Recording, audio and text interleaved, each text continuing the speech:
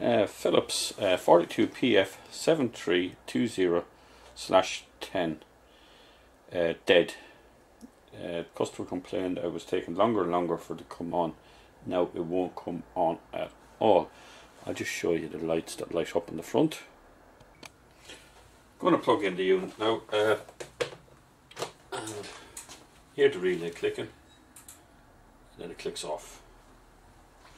And then if I press any of the buttons, standby button, light goes off.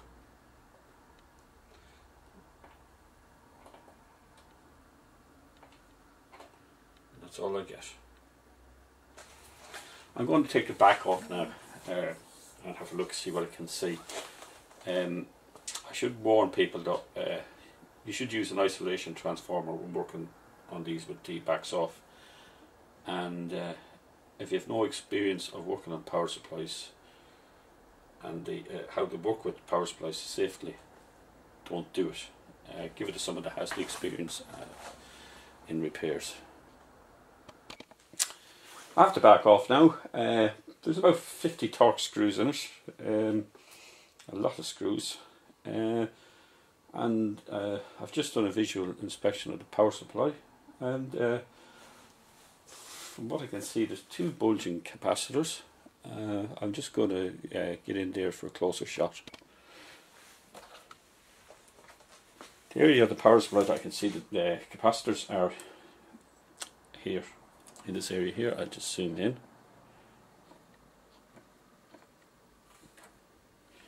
Let's, uh, let's get this cable out of the way. And uh, these are the two uh, capacitors I'm going to remove and uh, see what happens. Get back to you in a minute. We'll start by removing the cable. That's the mains cable.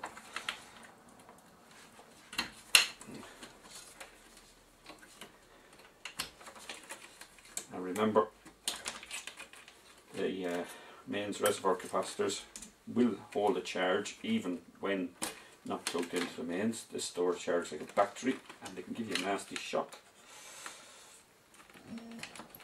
if you're not careful.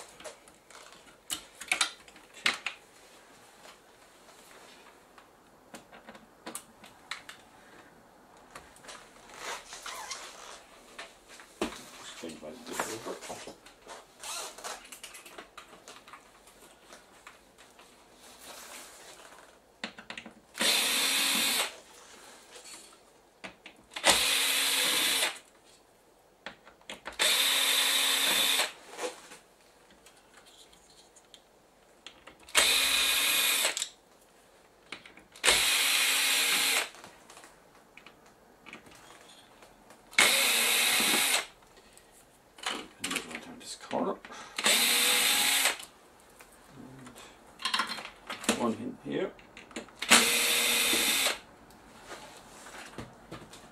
Let's give that a try.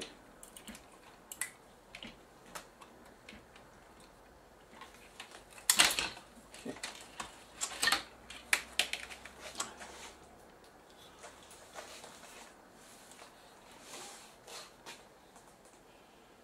Sit there.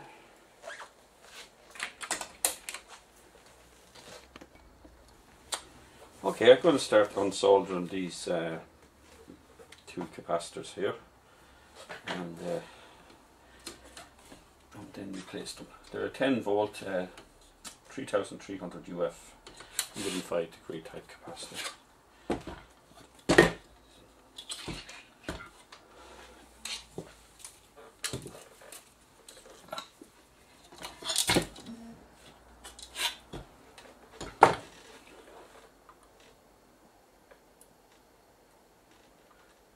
Circuit reference C8059 and C8060.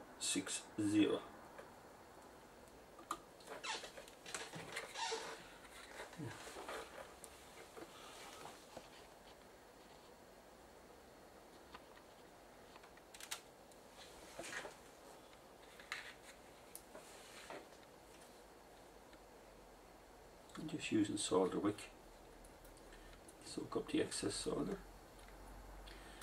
mightn't work with this board because it's uh, It's uh, double-sided print, so I have to be very careful now with this.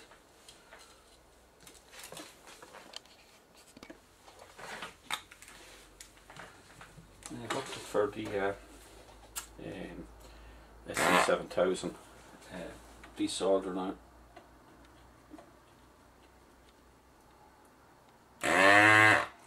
It's better for the double-sided print.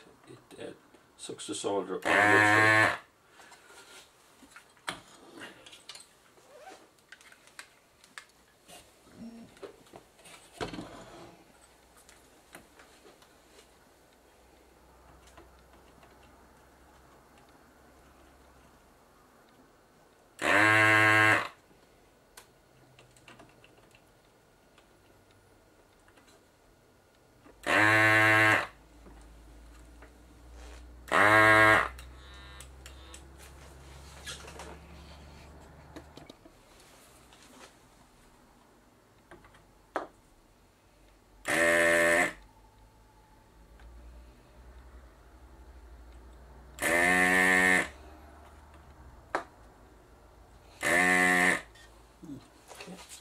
holes nicely. Had a few issues with it. I had to unblock it. Uh, it wasn't sucking correctly.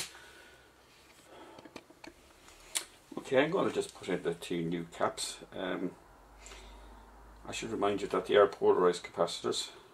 Um, on the board you'll see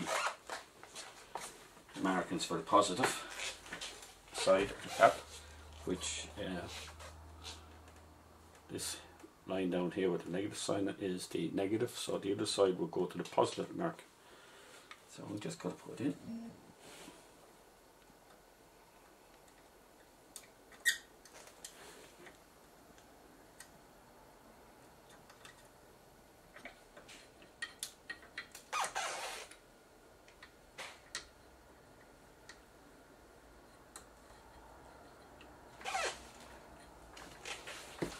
That's one.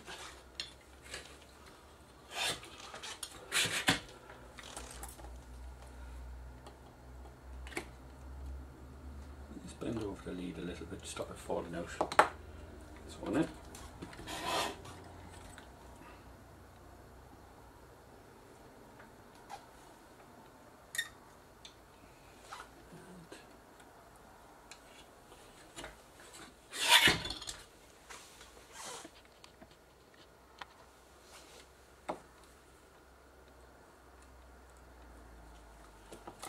That's the second one in.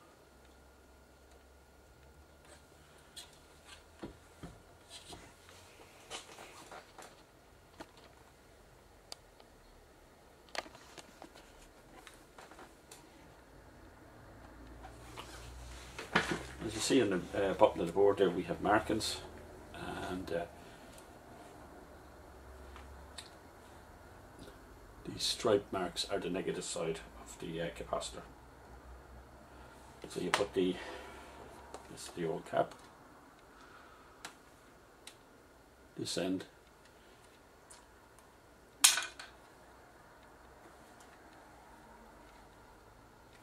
This pin here that, corresponds with this side lines up with this hole with the stripe markings on it. If You put it in the wrong way you're going to get a nice bit of steam out of these caps or they might just go bang.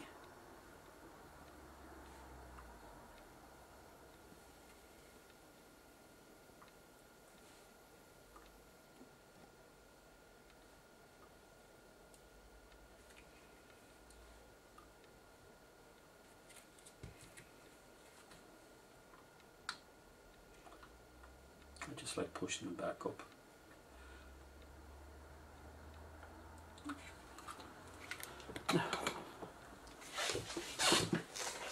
Clean up.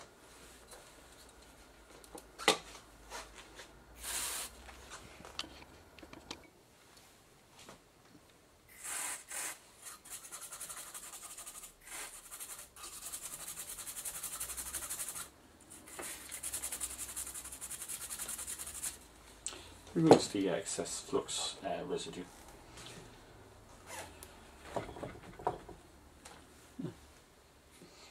Okay, I'm just going to get ready now, put in the in the, the unit.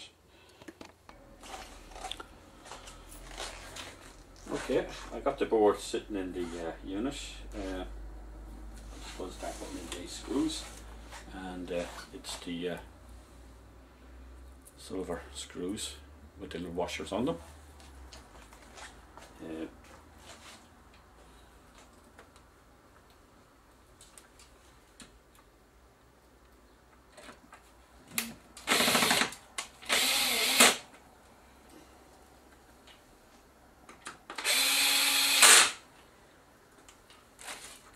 have the screwdriver set to its lowest torque.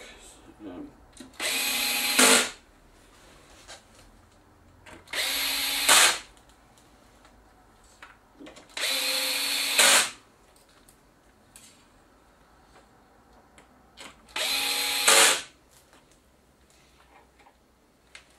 there's one down here.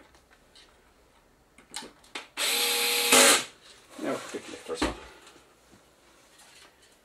This remains. Give it your signal board. And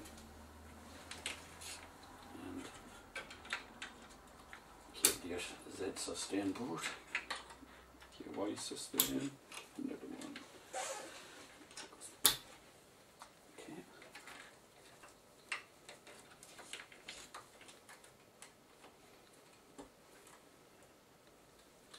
Goes your audio board.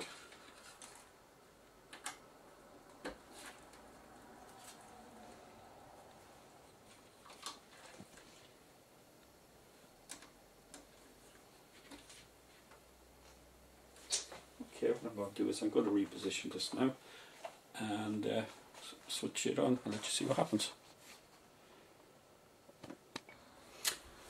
I have the back on. Um, there's about 50 screws, so I didn't show that. If I did, it would make for a very long video. Uh, I'm just going to power up now. I have a signal connected, and let's see what happens.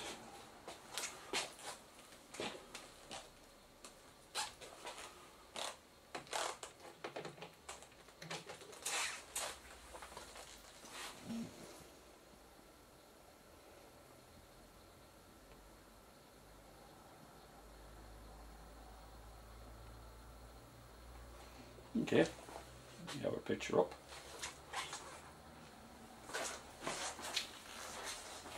And let's see what we have sound wise. Okay, sound is okay, and the picture is good, no sparklies. Uh, very good picture for the uh, vintage of this uh, plasma. Um, thank you for watching.